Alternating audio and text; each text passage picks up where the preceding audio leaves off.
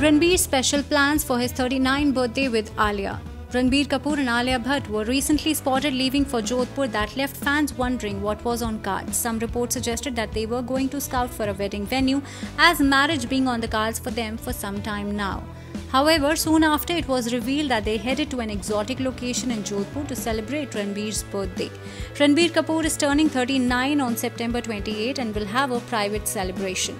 Last year, Ranbir had celebrated his birthday in Mumbai with mom Neetu Kapoor, sister Riddhima Kapoor Sahni, and Alia Bhatt.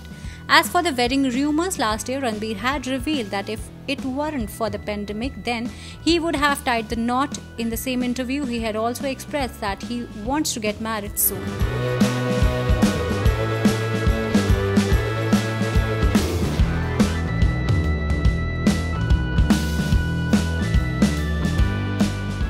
Former world heavyweight boxing champion Mike Tyson has been roped in for Vijay Deverakonda and Ananya Panday starrer Liger.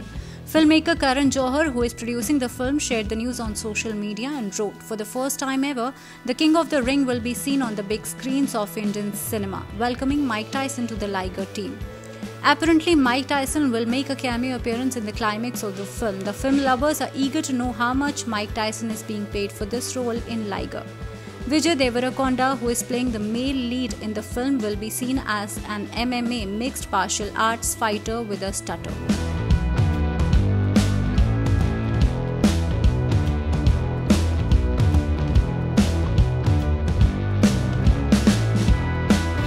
Actress Kareena Kapoor Khan hosted a house party late on Monday night for her BFFs Karan Johar, Manish Malhotra, Karishma Kapoor, and others. Here's a look at a few pics.